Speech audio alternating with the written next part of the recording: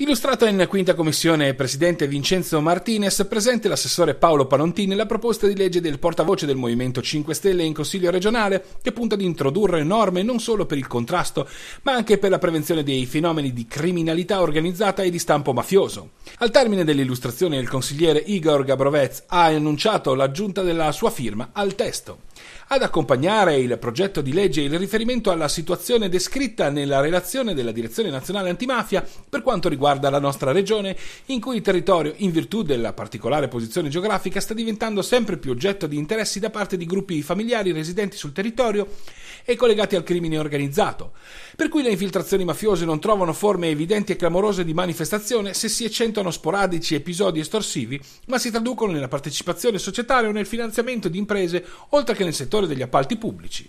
Una situazione che sta toccando livelli di oggettivo allarme, confermata dai risultati conseguiti dalla direzione investigativa antimafia nel secondo semestre 2014. Riferimenti che a 5 Stelle fanno dire che le istituzioni regionali, le parti sociali e l'intera comunità regionale sono pertanto chiamate a svolgere la propria parte e ad assumersi le proprie responsabilità in una sfida che riguarda tutti in maniera trasversale. Così, se è vero che nel nostro territorio non sono presenti fenomeni radicati come in altre regioni per i consiglieri Movimenti 5 Stelle, è obbligatorio fronteggiare quello che la direzione nazionale definisce come un crescente grado di pericolosità dei fenomeni criminali legati alle organizzazioni anche di tipo mafioso ed evitare ogni possibile espansione. Sempre più regioni hanno approntato misure e strumenti normativi necessari per organizzare un presidio a sorveglianza dei fenomeni riguardanti la criminalità organizzata di stampo mafioso e di diversi consigli regionali hanno istituito commissioni antemiafa al proprio interno o si sono dotati di uno specifico osservatorio. Ha sottolineato Cristian Sergo, primo firmatario rivelando che in questo siamo una delle ultime regioni.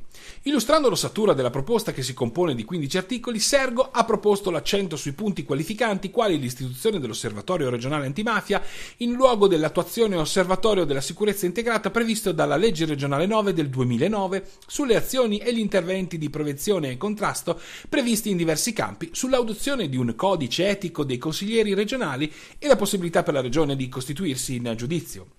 Nel dettaglio all'articolo 1, in armonia con i principi costituzionali e nel rispetto delle competenze dello Stato, si prevede l'estensione dell'impiego di risorse per la progettazione di interventi di prevenzione ai comportamenti antisociali e criminosi perpetrati dalla criminalità organizzata. Auspicata dal presidente della quinta commissione Martinez la massima partecipazione per l'approfondimento del testo condivisa dall'assessore Panontin, che parlando dell'impegno in corso da parte dell'esecutivo per modificare la legge 9 del 2009 ha indicato l'importanza di un lavoro di integrazione sulla base di queste osservazioni è stato deciso di calendarizzare una serie di audizioni per il più ampio e argomentato approfondimento della materia.